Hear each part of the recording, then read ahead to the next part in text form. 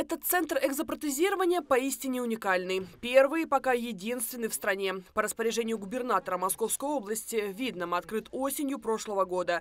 Здесь установлено самое современное оборудование для лечения пациентов с ампутационными культями. Основное его направление – это э, проведение экзопротезирования и установка и э, помощь в активизации движения на протезах – пациентов с ампутационными культями. Соответственно, туда же входит и э, лечение сопутствующих заболеваний, туда же входит у нас и заживление ран после ампутации, и в том числе реампутации, если они необходимы для благоприятного экзопротезирования.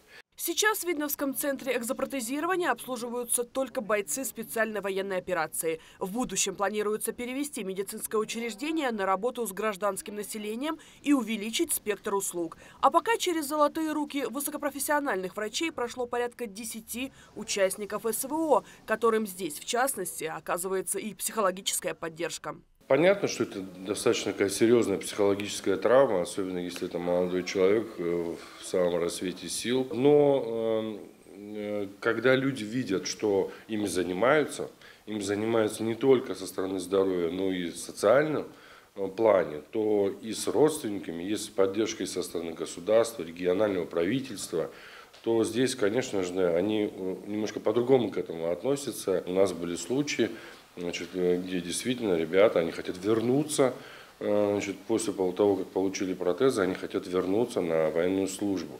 В ином случае государство предоставляет бойцу возможность переобучения на другую профессию. Именно социальная реабилитация играет ключевую роль в восстановлении привычного ритма жизни военнослужащих СВО. В этой работе активное участие принимает министр социального развития Московской области Людмила Булатаева, которая на днях посетила Видновский центр экзопротезирования. У нас есть, также мы подхватываем в нашем реабилитационном центре Ясенки, находится он под городским округом Подольском, где бойцы могут проходить 21-дневный курс, бесплатно проживание, питание, очень хорошая реабилитационная база, у нас есть инструкторский там э, состав хороший, который занимается с ребятами. Здесь важно вот быть в таком плотном взаимодействии, чтобы и лечение, и социальная реабилитация, э, ну вот окружить, так скажем, разные заботы и внимание, потому что ситуация очень разная, и помощь нужна очень разная. Людмила Балатаева отметила, ни один боец не останется без внимания. Помощь будет оказана, начиная с решения бытовых вопросов